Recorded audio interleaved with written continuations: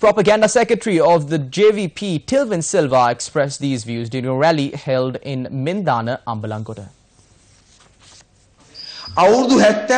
After changing the governments for the past 70 years, tell us what is the agenda that remains.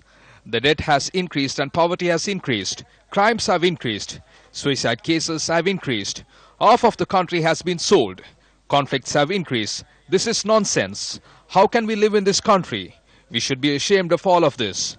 How can we face the world with this much of debt?